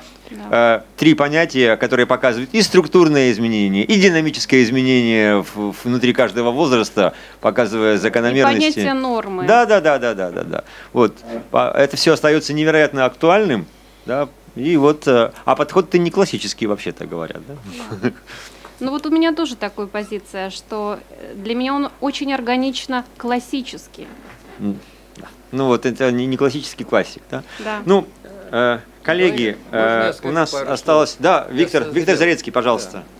Я тут полтора часа был в рефлексивной позиции, там в кожаном кресле. Вот. И сначала мне было очень интересно, а потом э, я задумался. И стало неинтересно потом? Нет, наоборот, стало настолько интересно, что я задумался. Вот. А, потому что у меня есть свое, так сказать, отношение как бы, к пониманию неклассичности Выгодского, и оно связано с всего одним словом, из которого, на мой взгляд, вырастают все корни э, культурно-исторической психологии, как неклассической. И я, поскольку я много лет занимался анализом речевой продукции, я думаю, что я не пропустил. Но я за час 30 этого слова здесь не услышал. И вот это для меня, честно говоря, загадочно абсолютно. Потому что, на мой взгляд, понять неклассичность психологии Выгодского нельзя без этого слова. Ну, ну, не томи. Буду томить. Я, у меня полтора часа томили, вот я сейчас вас тоже потомлю. Вот, значит, а, вот э, я когда слушал, я мысленно, так сказать, разделял вопросы, которые ставятся, да, на вопросы в рамках классической постановки и не классической. И они, они звучали. Понимаете, когда, например, э, я полностью согласен, что неклассичность, она вписывается в предмет и в метод, но я добавляю третью характеристику к этому. Да, вот, а, значит, э, когда ставится вопрос, например, чем отличается там, психика человека от психики животных, это вопрос в классической постановке проблемы, классической психологии. Она может, можно создать 100 теорий, которые будут описывать эти отличия, и все будут правильные. Абсолютно. А можно задать вопрос, как влияет информационные технологии на психику. И провести 100 исследований, и они покажут, что влияют по-разному. Кстати, во многом это будет зависеть от того, как проводятся исследования. Да. Собственно, из этого-то и выросло в свое время понятие неклассической науки, да, когда физики обнаружили, что они получают разные данные в зависимости от того, как измеряют. Вот, как-то стало непонятно, да, какое если классическая наука направлена на получение объективного знания, то здесь его нельзя получить. Она становится как-то, мягко говоря, не классической. Не да? по себе. Вот, но в своем опыте, в своей практике я столкнулся вплотную с неклассической наукой в 70-е годы, когда я работал в Институте технической эстетики, и нам нужно было не просто, так сказать, знания о человеке производить, в классические, психологические, а нужно было решать практические вопросы. Как лучше расположить вот это вот здесь или здесь и, и так далее, да? организовать рабочее место. И оказывалось, что данных психологии не хватает для того, чтобы решить простейшую практическую задачу. Что нужно привлекать данные других наук. Да, мы там с точки зрения сделали хорошо, а здоровье стало ухудшаться. Поправили здоровье, он стал утомляться. Поправили утомление, он стал хуже работать. Да? Значит, усилили качество, но он совсем заболел, понимаете? И никакая наука это не может решить. И неклассичность появилась как направленность научные как бы, э, знания на решение практических задач. Да? Потому что для того, чтобы решить практическую задачу, нужно знать много-много-много, все равно не хватит, но на свой страх и риск сделаем. И получались в 70-80-е годы появляются науки там. Не просто там геология, там, а геотехнология. Да?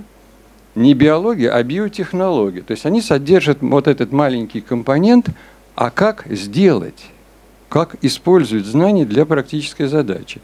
И они начинают комплексировать, так сказать, да, вот эти вот знания. Эргономика, что такое? Это стык там пяти-шести наук, да еще Да. развернутый на инженерную практику. И вот теперь, э, так сказать, да, когда и психология повернулась, ну теперь это, так сказать, э, с некоторого момента, по крайней мере у нас, она повернулась к практике, это там, наверное, 80-е годы, потому что там, ну, так сказать, считанные люди работали в практике, и практики как таковой не было, да? А вот тут возник вопрос, что не всякое научное знание способно обеспечить практику. Более того, большая часть научного ничего не может дать практике. Там практическое значение позиция есть, но она обычно в залоге модальной возможности. Можно для таких-то задач. А попробуйте сделайте, да? И вот здесь, вот, на мой взгляд, вот эта вот эваристичность э, культурно-исторической психологии как не классической, да она себя проявила во всей, так сказать, красе. Почему он стал там одним из самых цитируемых, почему все обратились друг к И причем очень интересно, с- Выгодского стали открывать. Да? Я, например, очень хорошо помню книги по психологии развития, написанные моими коллегами в том числе, да, про, в которых нет понятия зоны ближайшего развития. Понимаете, это книга, между прочим, начала 90-х годов. Оно не нужно. Александр Романович Лурий пишет предисловие книжки «Мышление и речь», и слово «развитие» там употребляется один раз в последнем абзаце, где он пишет, кстати, вводится очень важное понятие зоны ближайшего развития. И все. Он рассматривает книгу не как книгу о развитии. Гита Львовна пишет, для меня это книга о развитии с самого начала и до самого конца. Понимаете? Почему вдруг а все обратились к понятию зон ближайшего развития? Произошло на моих глазах, я сам такой. Я лет 15 обходился без этого понятия, потом понял, не могу. Я уже придумал свое, которое в точности, так сказать, заполняет эту брешь. Да, мы говорили зона доступной трудности. Потом я говорю, почему мы говорим такие странные слова, когда есть понятие, да? И это действительно было обращение через практику. Ну и если вспомнить, так сказать, ключевую работу, исторический смысл психологического кризиса, где слово практика является главным. Оно проходит насквозь через всю книгу. Он говорит, психология должна быть практической. Более того, она должна стать не практической, она должна сама стать практикой. Причем практикой какой? Последние как бы, слова, да? Это практикой становления нового человека. Она должна участвовать в этом процессе как субъект этого процесса. И именно такой он видит психологию. А что такое? Представляете? Создавать условия для развития человека. Педагогия была более адекватным словом, но он от него отказался. Там есть кусочек, где он рассуждает, как бы нам лучше назвать эту новую науку. И долго-долго держит напряжение, потом говорит, ну ладно, пусть остается психология. Есть подозрение, что он хотел назвать это педагогией, это даже логичнее, да, потому что создавать условия для развития человека это как раз как бы учение о том, при каких условиях он может возникать. Да, это было, но он оставил слово психология. Вот, и вот а, действительно у него можно проследить по работам, да, вот эту вот линию, причем его практика, она была за- э, как бы вся завязана на проблемы развития. Вот как Надежда Константиновна Крупская поставила задачу, чтобы дефективные дети становились э, образованными и, так сказать, рабочими, да, квалифицированными. В 24 году на съезде. Вот. Он задачу принял, правда, сказал, слово дефективным употреблять не будем, скоро это будет неприлично, он написал, да? И так оно и по- получилось. Но он задачу эту решал всерьез. Да. Да, у него первые там работы, там, да нет, у него на- до самого конца. вот Да, эта да, линия да, этих да, работ, она идет. Причем процент и там днев- и очень по дневникам большой. это видно, вот по дневникам видно, от первых до Да, последних да, да. дней все. Да. Э, То есть это тема, которая сквозной является для всего времени. Да. Но, заметьте, решая эту задачу, через нее он обращается к вопросу, а что такое сознание? А чем отличается психика человека от психики животных? Да? Да. Да. Как происходит развитие специфических человеческих функций? В истории развития психических функций, высших психических функций нету слова «зона ближайшего развития». Нету, да. И в лекциях по развитию, когда он читает цикл лекций в 1932 году, там развитие восприятия, развитие Да, памяти, развитие мышления, развитие воли, Да. и даже, по-моему, эмоции там что-то есть. Нету этого понятия, потому что оно появляется через там, несколько месяцев. Она появляется в 33-м, да. Вот. Но когда оно появляется, зона ближайшего развития, да, то появляется механизм, как человек, практик, психолог, взрослый, Учитель, учитель. учитель, да, может включаться да, в этот процесс развития, Ага. оказывать на него влияние, да, но заметьте, тут же появляется слово сотрудничество. Он не произносит этого слова, да, ребенок как субъект своего развития, да, но через сотрудничество мы его Конечно. вычитываем, потому что сотрудничество значит другой тоже сотрудник. Да. Да? И вот, и на, на мой взгляд, вот завершающий аккорд вот этой его теории развития, да, это вот э, в мышлении речь, вот эта фраза, про которую сейчас все время пишу, потому что я без нее уже не могу жить, я не могу решать практические задачи без, без этого, да, что один шаг обучения может начать 100 шагов развития. Да. Прямо после этой фразы идет следующая фраза. И это самый положительный момент новой теории. Вот. Э, Значит, почему это важно? Да потому что а процесс обучения можно строить по-разному. Или по-другому, скажем, вмешиваться в этот процесс взрослый может по-разному. Может закрыть процесс развития, может разрушить процесс развития, может создать условия, а может сделать нечто такое, да, что, так сказать, ребенок начинает расцветать на глазах, как цветочек. И вот эти самые 100 шагов мы получаем. Мгм. И он на это написал, если я правильно вычисляю, где-то, так сказать, месяца за полтора До до, смерти. того, как закончил свою активную творческую деятельность. Это весна 1934 года. Да, вот как зона ближайшего развития, он говорит, мы педагогическое значение опишем последующих глав. Его нету, этих глав не было. Да. И здесь тоже он завершает, и больше нигде никогда я спрашивал Екатерину Юрьевну, где-то в записных книжках встречается вот эта фраза, там, один шаг. вперед?» Она говорит, нет, ни- нигде не нашла, не обнаружила. То есть это вот был вот такой, так сказать, инсайт какой-то, да, что такое прекрасно, возможно.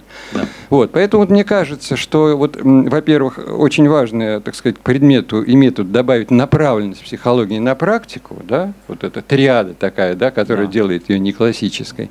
Вот. А во-вторых, именно как бы секрет уже вот такой популярности сейчас, там, спустя 80 лет, да, а, после того, как вышли последние работы, в том, что он создал именно такой концептуальный строй, который работает на практику. Он просто, так сказать, да, не надо далеко ходить. Открываем книжку, и там все написано. Социальная ситуация развития. Это очень практичная вещь. Да. Да? Можно по элементам. Зона ближайшего развития, четко граница. Вот ребенок может, вот может совместно, а вот не может вообще, понять не может. Да? Э, Однажды, сейчас одна фраза, и на этом закончу, э, очень хорошо иллюстрирует ценность культурно-исторической психологии для практики. Я однажды в колледже преподавал, и учителями у меня были мастера э, автодела. Один был э, 10 лет работал в гараже, директором гаража, а другой полковник, тоже директор гаража в армии. И вот они пришли преподавать, им нужно педагогическое образование для того, чтобы ну, получать зарплату как педагогам. И они у меня писали диплом. Им очень понравилось понятие зон ближайшего развития. Я приходил на занятия, помогал организовывать. Вот. И, Ирина Юрьевна Кулагина принимала в комиссии э, экзамен, э, эти дипломы, значит.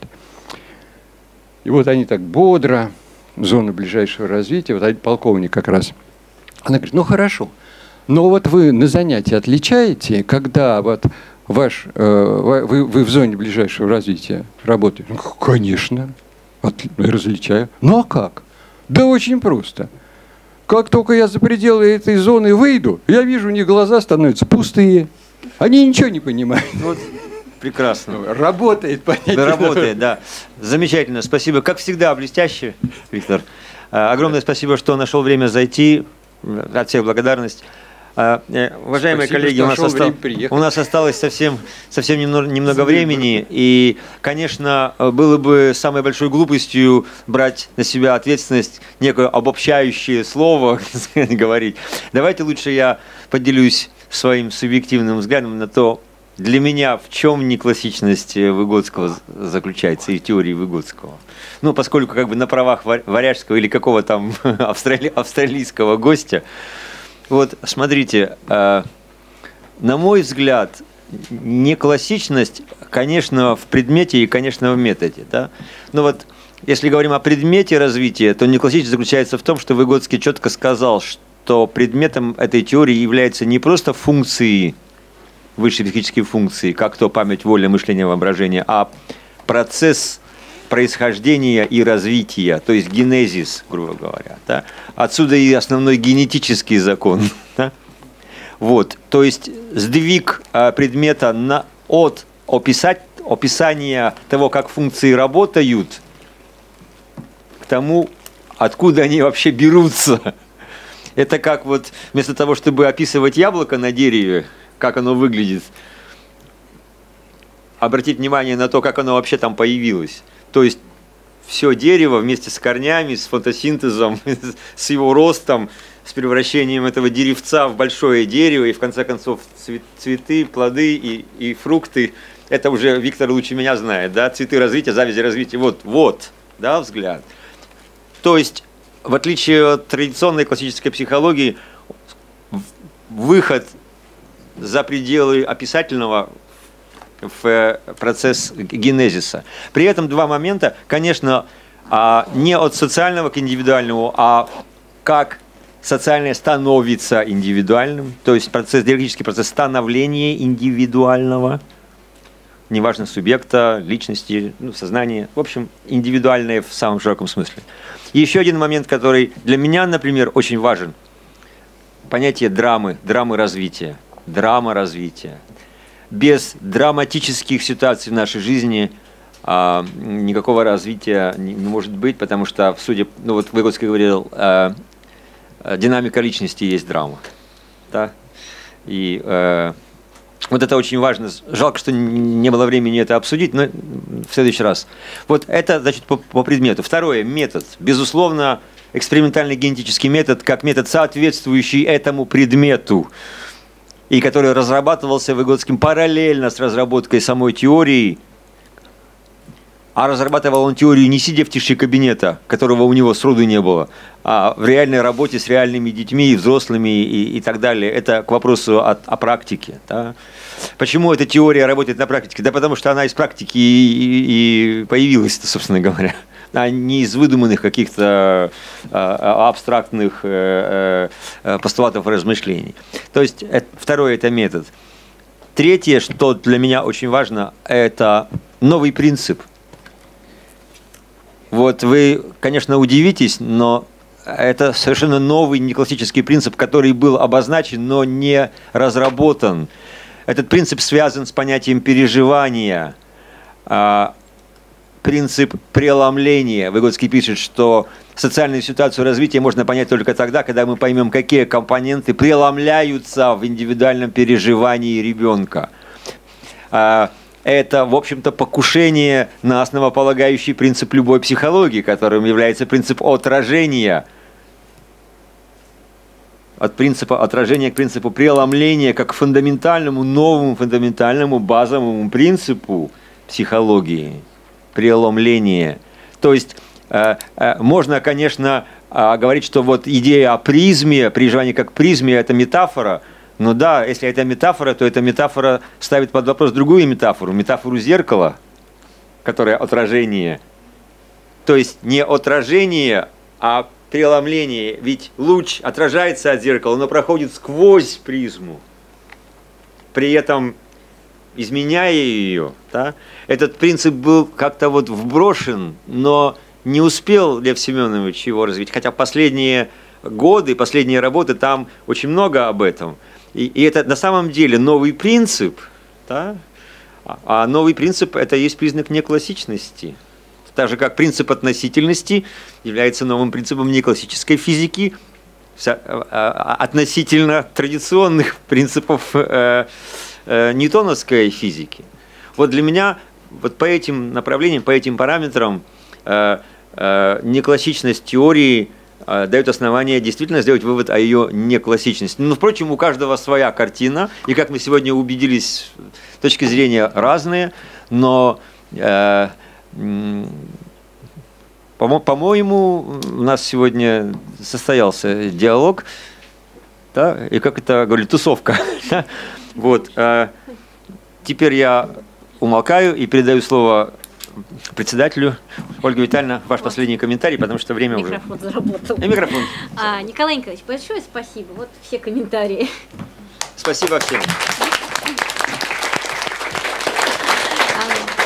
Коллеги, а, просто такое вот да, небольшое объявление. Во-первых, а, если кому-то интересно, вот а, завтра и послезавтра продолжается конгресс, несколько площадок в городе, да, и вот в частности завтра это Высшая школа экономики утром, затем с двух часов это психологический институт на Маховой, где будет очень интересная конференция по необычной теме, это точки да, соприкосновения теории Выгодского, Теплова и Челпанова, а, если кому-то интересно. И 16 числа две площадки параллельно идут.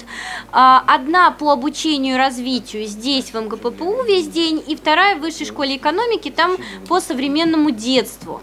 Где можно посмотреть программу? Можно посмотреть а, на сайте нашего центра, да, Центр междисциплинарных исследований современного детства, childhoodresearch.ru. Да, там и программа, и всякие всякие новости, и даже там есть библиотека, если э, кому-то интересно, да, все материалы мы там выкладываем. Большое спасибо всем, кто пришел, будем рады новым встречам. Спасибо. Спасибо. На ветру стояла.